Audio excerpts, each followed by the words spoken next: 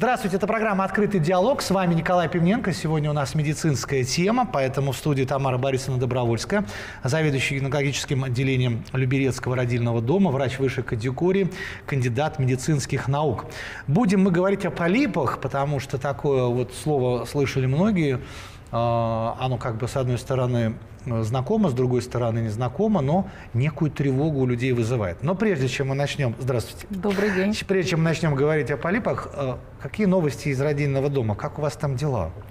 Ну, мальчики, девочки рождаются. Это, это, это я понимаю. Как... Счастливы мы, когда их а. рождается больше. А ну вот по статистике так, как, как, какой самый удачливый день с точки зрения рождения? Есть такие дни? Или как-то оно распределено ну, угадать очень сложно, угу. потому что все зависит от звезд. Ага, как звезды складываются. Как звезды становятся. Но режим круглосуточный. 300 процентов, да. конечно. Все, все приезжают, все их принимают, угу. у всех принимают роды и радуется персонал. Не меньше, чем родители появлению новых детей. Угу. Ну, потому что такой процесс как бы, да, да помогать. Ну и э, по статистике, я не по цифрам имею в виду, по ощущениям сейчас больше или как всегда, или как? как? Ну, я думаю, что сейчас немножечко поменьше ага. родов, но все делается для того, чтобы их было побольше. Вот, вот так и должен говорить кандидат медицинских наук. Но говорить мы будем сегодня на серьезную тему. Давайте мы сначала обозначим, потому что полипы, естественно, это будет связано больше с гинекологическим. Вот у нас вторая часть будет этому больше всего посвящена. А, ну, я вот говорил э, Тамаре Борисовне, я уже тоже как бы давно живу, и сегодня, в общем-то, и молодые люди знают, да, что у нас есть там на теле, ну, на внешнем, да, и бородавки, и всякие папилломы, то есть огромное количество а, всевозможных непонятных вещей, связанных э, с кожей, ну, непонятных, я имею в виду для неспециалиста. И э, так как мы живем в век интернета и сплошной такой рекламы, везде пугают, что вот это надо удалить, это надо, а то у вас будет то и так далее и тому подобное. И есть слово полипы. Полипы это уже такое внутреннее, я так понимаю, uh-huh. состояние. Вот давайте мы поговорим, чем они вообще чреваты, э, ну, такое введение сделаем, прежде чем идем в гинекологическую сторону. И почему они у нас есть, зачем они нам? Ну, если сказать честно, нам они вообще ни к чему. Так, но они есть. Да. Но жизнь такова, что ага. они есть, и игнорировать их э, не стоит. Угу. Ну, что можно назвать полипом? Это любое доброкачественное очаговое образование. Это то ли оно вот в виде грибочка, то ага. ли в виде капли какой-то на широком основании, на ножечке. Вот. Ну, вот так оно возвышается над слизистой, где бы она ни ходила. Мы всегда должны относиться к этому серьезно, если мы их обнаружили. Угу.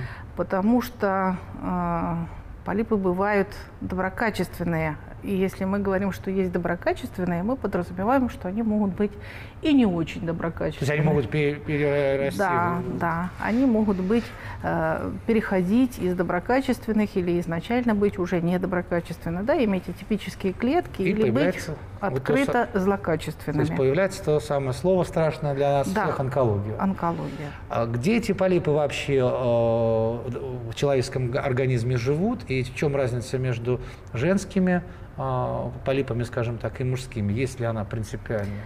Ну, принципиально между женскими и мужскими полипами э, есть разница только в том, что э, общие полипы располагаются на всех слизистых, где можно, да. А женские полипы, они располагаются или в цервикальном канале, или во влагалище, или в полости матки. Угу. И, в общем, э, только этим то, чего нет у мужчин. Вот этот генитальный прибор, который, который нас отличает. Дополнительно, да, скажем да, так. Да, вот. Но я так понимаю, что полип это же внутренняя история. То есть, да, да внутренняя. То есть все, так сказать, а, все, что внутри и во рту могут быть, да, полипы, Конечно. и, извините, в анальном отверстии могут быть, то есть Совершенно везде. верно. И в кишечнике, и в желудке, угу. и в носовых полость, э, в полостях, в пазухах, угу. и, и везде, где есть слизистые, там могут вырастать полипы. И правильно я понимаю, что как-то у нас, ну, врачи много же занимаются профилактикой, да, мы об этом постоянно говорим, ну, простые, скажем, uh-huh. простые, не простые, не с точки зрения, ну, обычные заболевания, но вот как-то про полипы я нигде не видел бы плакатов или чтобы все говорили, придите, проверьтесь на полипы.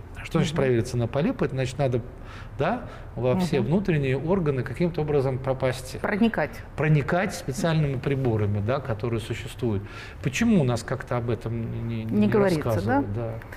Ну, смотрите, что общего для всех полипов, это то, что теория их возникновения ну, до конца не изучена. Мгм. И такой единой какой-то теории, которая давала бы нам ответы на все вопросы, ее просто нет. Мгм. Есть, конечно, люди, которые вот э, Изучают. в группу риска входят А, а по вот. возникновению полипов. Вот мы об этом поговорим для женщин.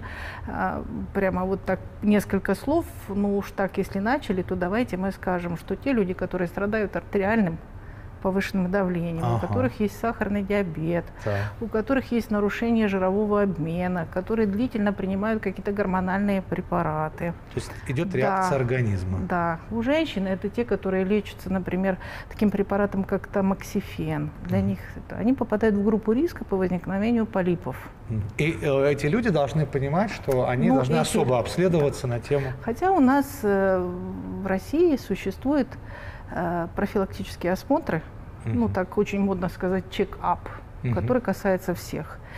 И, конечно, желательно, чтобы все те слизистые, которые доступны осмотру, мы показывали все, и не только женские половые органы. Да, и для этого существует и осмотр у отоларинголога носовой и ротовой полости и голосовых связок. Гастроскопия и колоноскопия – это осмотр кишечника, который после Мгм. 42 лет рекомендуется Чуть делать. ли не раз в год, да, там? Да, раз в два хотя бы, ну, желательно Мгм. хотя бы раз в два года, ну, в общем-то, для профилактики. И, конечно, гинекологические осмотры, которые включают в себя дополнительные методы исследования и помогают нам выявлять вот эти полипы. Ну, об этом мы во второй части поговорим. А, И сейчас потихонечку будем к ним переходить. А, То есть мы можем сделать вывод, что все-таки это связано, то есть человек, э, эти, эти самые полипы приходят к тому, кто как бы их к себе зовет. То есть если более-менее вести а, ну, здоровый образ жизни и, ну, опять же, насколько это возможно, Мгм. не стрессовать, как у нас говорят, что от стресса все идет, да, Мгм. вот, то можно, по крайней мере, избежать их. Но вот такой может быть вопрос. Если у людей э, много сказать, всяких бородавок или ра- растут э, папилломы, хотя это немножко другая, Другая тема, история, да. но тем не менее, может быть это сигналом того, что у них и полипы могут быть, потому что ну, верно. тело готово к этому. Совершенно верно. Ну, что должно быть э, для человека? Ну, понятно всегда, что любая избыточная ткань на коже, на слизистых, она должна его заинтриговать, Мгм, если он это сам увидел. мгм, А если он не увидел, то он должен ходить на профилактический осмотр, чтобы это увидели врачи, мгм. во всяком случае. И, конечно, нельзя оставить это без внимания, потому что если вы говорите про кожу, опять же, сегодня известна папилломовирусная инфекция, которая участвует в возникновении э, бородавок и папиллом на коже. Да, людей обследуют, выявляют, помогают. Если это связано с какими-то соматическими заболеваниями, которые снижают иммунитет и контроль организма за тем, чтобы правильно регенерировала кожа и слизистые, чтобы были не нарушены процессы роста новых Мгм. клеток и отмирания старых клеток, да? В этом участвует и гормональный обмен, правильно? Ну да, да, И вот конечно. эти нарушения, их же можно выявлять и корректировать. Это уменьшит рост этого полипов и всяких. Но полип сам же не уйдет, если мы вдруг его все равно надо вырезать. Нет, даже если будете сильно очень просить, чтобы он ушел, он не, Не уйдет. То есть он уже, если пришел, то Да, он его будет- надо удалять. Обязательно делать гистологическое исследование любой удаляемой ткани, Конечно. разбираться, что это за полип. Почему? А полипы это не инфекция, то есть это действительно вот у каждого. Вы знаете, если мы так немножечко забежим наперед и скажем, что у нас э, это не инфекция, но если женщина, например, страдала хроническим воспалительным процессом, ну, к примеру, в матке или Мгм. в э, внутренних половых органах, у нее вероятность возникновения полипов повышается. Мгм. Но это опять же идет не потому, что это связано с какой-то конкретной инфекцией, с каким-то конкретным вирусом. Это может быть связано с нарушением иммунитета, с генетическими какими-то изменениями, и тогда у нее Да, то есть это не больше. э, с- сесть где-нибудь э, или в купе проехаться Совершенно и вдруг верно, да, нет. попоявиться. Нет. Хорошо, ну давайте мы будем переходить уже к той э, части, которая вам близка, гинекологической. Вот. Почему это сейчас проблема? Э, Настолько полипы могут повлиять на здоровье женщины в этом плане? Ну, во-первых, они часто встречаются. Ага. Давайте начнем. Участились или всегда часто? Нет, они часто встречаются всегда, и Мгм. сейчас мы видим, а, что они э, помолодели. То есть они Ага. чаще стали встречаться у женщин в молодом возрасте. Мы будем с вами разговаривать конкретно сегодня про полипы эндометрия. Мы не сможем все полипы обхватить. Я думаю, что Да. А что это за полипы? Как вы сказали? эндометрия. Эндометрия. Ага. Что такое эндометрия? Это внутренний, самый функциональный слой в матке, Мгм. который очень дифференцированно ведет ежемесячную работу, подготавливается нашими гормонами, а вот женскими половыми, к наступлению беременности. Ну, главная задача, да. каждые 28-30 дней идет такая колоссальная работа в женском организме, чтобы эндометрий подготовить к наступлению беременности. Мгм. Если беременность не наступает, наступает менструация. Ну, а потом опять заново. И снова. Да. И То есть это практически завод такой. практически завод, практически вот такой завод по самовоспро... по Да. себе подобных. Мгм. Вот. А раз так напряженно работает эта система, да, и она всегда подвержена изменениям даже при малейших колебаниях внешней среды, внутренней среды, вот при возникновении каких-то других заболеваний, да, потому что система очень напряженно работает. Мгм. Вот.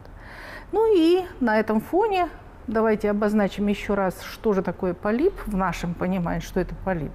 Это такое очаговое, доброкачественное увеличение, объемная эндометрия, Мгм. которая может быть в виде там гриба, в виде такого там капли, в виде еще каких-то там овальных такой. таких Мгм. всяких образований, имея сосудистую ножку и растет полости матки. Оно еще и растет. То есть оно. Да. А, а бывает так, например, что оно как бы вот как появилось, ну мы же не видели этот процесс, да, потом вы уже зафиксировали. Мгм. И так и осталось. Либо оно все, все время растет. Нет, оно может не все время расти, но каким-то же образом мы же сегодня видим, что у нас полипы бывают разных размеров. Они бывают от 2-3 миллиметров Да, да, да. до приблизительно двух с половиной сантиметров. Да Да, там, даже- да, такие большие бывают полипы. Они бывают единичные, один. Мгм. А, бывают множественные, бывает их несколько. Хорошо. Поэтому- Вот давайте мы сейчас здесь остановимся. То есть мы да, проиллюстрировали, ну, насколько мы это можем сделать, э, ситуацию про полип. И э, ясно, что ему нельзя давать шансов жить, его нужно все-таки удалять, так или иначе. Ну, обычно женщины, они же народ недоверчивый. Ага. Но это отчасти правильно. Ну, мы, как врачи, по своим там этим разрешаем месяц посомневаться, Ага, а потом они сами понаблюдать, да, приходят. Убедиться, получить второе мнение, еще что-то сделать, еще как-то вот это и Ну, тогда вот давайте во второй части и поговорим, э, как с ними бороться и к чему они могут привести, если мы их оставим там, где они эти вот нехорошие полипы растут. Сделаем небольшую паузу. Напомню, что в гостях у нас Тамара Борисовна Добровольская, заведующая гинекологическим отделением Люберецкого родильного дома. И говорим мы сегодня о полипах, ну, в плане вот женского здоровья. Напомню, что это программа «Открытый диалог». У нас в гостях Тамара Борисовна Добровольская, заведующая гинекологическим отделением Люберецкого родильного дома, врач высшей категории, кандидат медицинских наук. И э, в первой части мы говорили о полипах, как о таком, ну, кавычках, да, популярном в последнее время слове. Мне кажется, что еще лет 10 как-то оно особо так никто и папилломами не занимался. Ну, выросло и выросло. Вот. Бородавки, да, вот они всегда были. Еще родинки, да, тоже такой вариант. Убирать родинку, не убирать, они же разные бывают. Где-то они подчеркивают красоту, а где-то они мешают человеку жить. Но вот полип это совсем иное. Как мы выяснили, это то, что происходит внутри нашего организма. Зачастую мы, люди, даже не знаем, что они растут, а потом вдруг возникают какие-то болезни. Ну и коль мы говорим сегодня все-таки э, заведующий гинекологическим отделением, то у нас сейчас идет речь о полипах, которые встречаются в женском организме, как мы выяснили, вот в том самом главном механизме, а, где все мы появились, собственно говоря, вот у них почему-то там такой э, ну, площадка для их роста, как вы говорите. Вот мы остановились на том, что бывает один, бывает несколько. Да. Вот. И э, э, их всех надо удалять. Или подождать, надо посмотреть, что смотрите. происходит. Гормонального лечения для полипов э, эндометрии не существует, Мгм. но доказано, что оно не работает. Так. Вот. А потом, а, как можно лечить э, гормонами а, или чем-либо другим народными способами? Снятием, Прижигать, да, да. снятием с глаза, там, да, заговорами. Да. Если мы не знаем, что мы лечим. Ну да. То есть получается логично, если рассуждать, надо этот полип удалить и отправить его куда? На исследование. На исследование гистологическое. Совершенно верно, потому что именно это гистологическое исследование является окончательным диагнозом. И С чем вот, мы имеем да, дело? И вот мы эти два, два варианта диагноза сейчас и будем рассматривать, но прежде чем мы займемся удалением полипа да. конкретного, а вот вы сказали, что вы говорите женщине, естественно, а, и женщине, если мужчине тоже скажешь, что у него где-то нашли там полип в его внутренностях, он тоже говорит, да, вот, как вы будете мне его отрезать, это целая история, там гастроскопия, например, да, это болезненная такая процедура. Но э, нормальный вопрос пациента к вам. Да. А почему я его должна или должен э, отрезать? Ну, мы ему объясняем. Вот отчасти мы уже с вами на этот вопрос ответили, потому что мы не знаем, с каким полипом мы имеем дело. И мы уже начинали с этого, и еще раз повторим, что полипы делятся на две категории. Они бывают полипы эндометрия и рассматриваются как доброкачественные полипы. Mm. И есть полипы эндометрия с атипией. Но мы понимаем одно, что, да. по крайней мере, нам кажется, хоть мы не совсем это еще угу. доказали, что вообще полипы вредные для нас. То есть мы их не оставляем в любом случае внутри. Ну, да. Вот, вот пока так, это чтобы понимать. Да. А, вы даете, как вы сказали, погуляла женщина, подумала и что-то почитала, она а же нас... надеется, что да. само выпадет раз. Да, само. А можно так, пройдет. чтобы оно когда да. пройдет. Почитала в интернете, а да. я уже много сто раз говорил в наших программах, что в интернете любую болезнь, самую простую, там все равно в конце будет написано, возможно, у вас начнется рак. И после этого человек начинает, ну, нервничать. Метаться. Вот приходит к вам и вы э, проводите эту операцию. Вообще, что это за операция? Ну, или э, называется ли это операция удаления полипа? Угу. Как это происходит? Ну, вы знаете, да, так и называется операция удаления полипа, эндометрия. Угу. И сегодня она удаляется под контролем гистероскопии. Если в желудке и в кишечнике удаляют под контролем колоноскопии, гастроскопии, mm-hmm. а у нас гистера от слова матка. Mm-hmm. Вот. Мы заходим туда ага. со специальным оборудованием, с видеокамерой, смотрим, где расположен этот полип, как он расположен, и удаляем его. Бывает обычное механическое удаление полипа специальными близко. инструментами. И бывает э, с использованием различных энергий.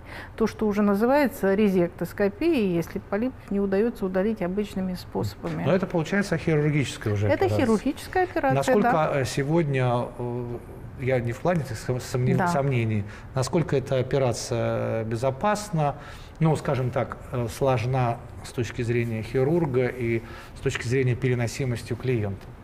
Ну, понимаете, если 20 лет назад э, гистероскопию можно было сделать только где-нибудь в очень таких э, клиниках. А, как-то так, да, да, да. Знакомство. Да, то где-то тут э, в Люберцах, в общем-то, можно было, наверное, и не везде. Угу, вот. Э, но мое отделение, в котором я работаю, 23 года занимается, и даже чуть-чуть побольше, угу. потому что оно фактически в Люберецком районе было первое открыто с эндоскопическим оборудованием, которое позволяет угу. выполнять такие операции. Вот. И на сегодня это уже рутинная операция. У нас их проходит очень много. А вот, э, то есть женщинам бояться не нужно. То есть они не первые и не последние. Совершенно верно. Там, где делают, например, 2-3 операции в год, э, то это, конечно, да. можно а сомневаться. У вас уже как а у нас мы поток, делаем да, там где-то... А сколько идет эта операция, если, предположим, один полип? Ну, такой среднестатистический. Ну, в среднем приблизительно 10-15 минут. Под наркозом или под, как? На, под наркозом, конечно.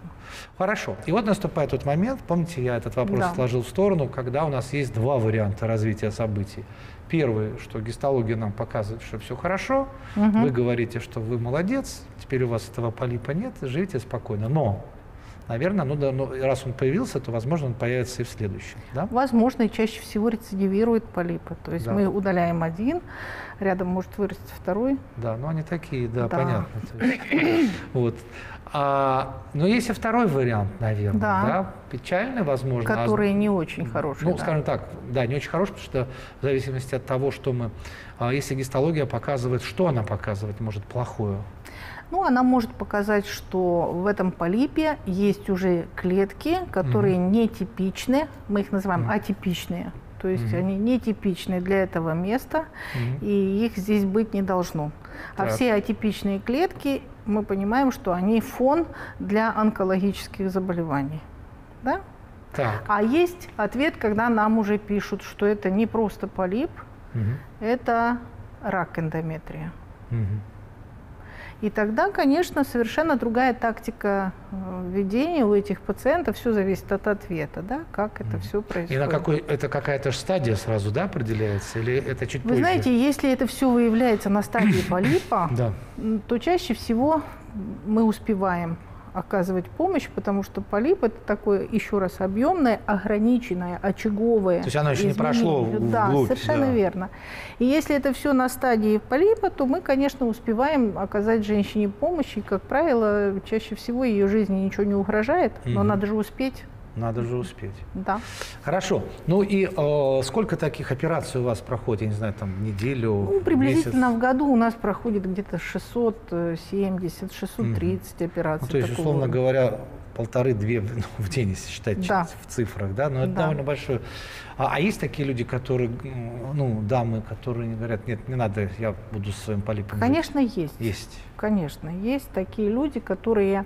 Все, что растет, все хорошее. Да, когда они уже приходят э, с клиническими проявлениями заболевания, Мгм. а вот, э, который уже не столько полип, сколько его другая болезнь. Конечно, Мгм. они начинают вспоминать, что где-то вот лет 5-6 Что-то назад было. Да, им говорили, но они это проигнорировали, они ушли, этим не занимались, и результат вот таков. Ну, уже на этих стадиях, конечно, когда уже все понятен диагноз, и Мгм. причиной мол- мог быть вот полип, который вовремя не пролечен, особенно женщин старшего возраста. Ага. Это те, которые находятся вокруг климактерического синдрома или те, которые уже находятся в перименопаузальном, красивое Мгм. слово, но на Мгм. самом деле в климактерическом Мгм. периоде. А, вот. вот если у них возникают полипы, там вероятность получить злокачественный полип выше. То есть, правильно я вот тут опять же понимаю, что э, в любом возрасте, вот вы говорили, да, что помолодели полипы, да, у молодых, я так понимаю, Да. э, девушек появляются, что даже когда заканчивается уже вот этот вот возраст... э, Репродуктивность. Да, я Да. тоже ищу, как уже врач. какие-то Красивое к- слово. Красивые слова, да. Ну, все мы все понимаем. То есть женщина уже ну, заканчивает тему рождения детей, а все равно полипы же никуда не денутся, то есть нужно проверяться уже до конца. Совершенно дней, верно. да? Совершенно То есть верно. надо приходить к гинекологу, кому приходить, за, чтобы понять? гинекологу, конечно. Если мы говорим про полипы Так. а, эндометрия, то это, конечно, гинеколог. Он это даже обнаружит. не обсуждается, да. Мгм. Каждые полгода надо приходить на осмотр к гинекологу. Вот, и желательно выполнять дополнительные методы диагностики, такие как УЗИ органов Мгм. малого таза. Тоже такой рутинный А тоже показывают, да, УЗИ? Только на нем можно Ага. обнаружить то, что внутри. Это понятно. Вот. И заподозрить, и дообследовать, и обнаружить вот на УЗИ Ну, органов я малого так понимаю, таза. я не знаю э, в данном случае, как у вас у специалиста, но есть же еще какие-то жировики, которые тоже иногда ну, похожи на какие-то образования, да? Мгм. Они будут большие, маленькие и так далее. То есть, Ну э, так я вам сейчас немножечко пошучу, потому Давайте, что матка шутите. орган мышечный. Так, Она так все время работает. Помните, мы с вами разговаривали, что она и менструирует, и растягивается на рост беременности, и потом она сокращается, и все время она параллельной в- жизнью в, живет, да. работе, да, Да. и ей не до жиру. Вот Ага. жировиков у нее как раз не бывает. Не бывает. Если мы говорим про жировики, то это подкожно-жировой слой, немножко и другая это не наша тема сегодня. Ну, имеет место и это. Поэтому в этом смысле хотелось бы чуть-чуть про то, как себя полипы проявляют. Да, Правда, давайте, это важно да. для женщин, мгм. важно. Ну, что удивительно, что на самом деле от 18 до 60, приблизительно 60% э, полипов проходит бессимптомно. То То есть женщину ничего не Ничего волнует, да, ничего не беспокоит. И почему в этом э, плане так важны регулярные осмотры у врача? Потому что человека ничего не беспокоит, Мгм. а полип есть. И какой он, и сколько он там находится, никто не знает. И поэтому, чтобы хотя бы иметь временные параметры, да, что полгода назад ничего не было, сейчас появилось, то есть мы понимаем, что мы имеем дело с недавней историей, и что мы везде успеваем помочь. Мгм. То есть в этом смысле, да? А есть часть полипов, которые проявляют себя. Как проявляют? Женщина не усидит дома, потому что у нее начинаются аномальные маточные кровотечения М. кровотечение между менструациями. И То она вынуждена, да, она выж- вынуждена обратиться к врачу, гинекологу, и он начинает ее обследовать и выявляет, что там есть полип эндометрия, и оказывает ей помощь, и удаление полипа сразу приводит к остановке кровотечения. Ну, тут получается, что э, само тело ей помогает. То есть Совершенно данном верно. случае Сигнальная хорошо, система да? ярче, конечно. Ярче. И еще есть часть женщин, которые нас всегда очень интересуют, потому что это молодая группа женщин, это женщины репродуктивного возраста. Они приходят с проблемой, что у них беременность не наступает. Мгм. И начинают обследовать эту пациентку, делают ей УЗИ, и выявляется, что у нее есть полип эндометрия, который препятствует наступлению беременности. Ах, вот так, да. Да, и удаление А. полипа эндометрия Решает проблему. да, в два раза увеличивает э, естественные беременности в цикле. Поэтому вот вот, это прекрасная, так мне кажется, концовка для нашей программы, потому что, вот видите, мы начинали с малого, казалось бы, что там какой-то ми- микрогрипп растет, а на самом деле, смотрите, сколько проблем создает. Конечно. Спасибо огромное вам. Это была программа. «Открытый диалог». Будьте здоровы. С вами был Николай Пивненко. Всего доброго.